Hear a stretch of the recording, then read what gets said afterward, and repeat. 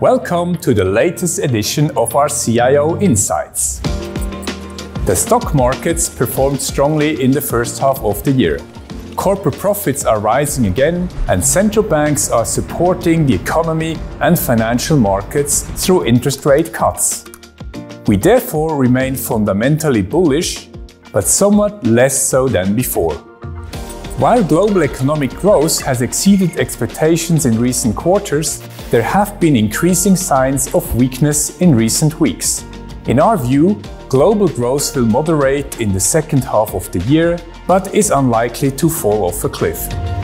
Some central banks, such as the Swiss National Bank and the European Central Bank, have already embarked on a new rate cutting cycle, which should support domestic growth.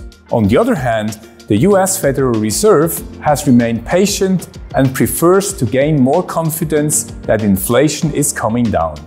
Fixed income markets have been very volatile recently, reacting strongly to both economic and inflationary surprises. With increasing signs of a slowdown in US growth, the upside risk for long-term interest rates is likely to be limited. Even if inflation remains high, the bond market should offer reasonable returns until the end of the year. It may therefore be worth gradually increasing the duration of portfolios. Artificial intelligence and the associated growth and earnings expectations remain the key market drivers.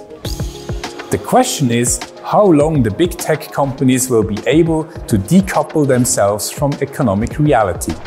Investor positioning has become quite aggressive this year, with a large majority of asset allocators now being overweight in equities. Even small disappointments could therefore lead to strong market movements. The trend in equity markets remains positive, but the momentum has waned somewhat in recent weeks.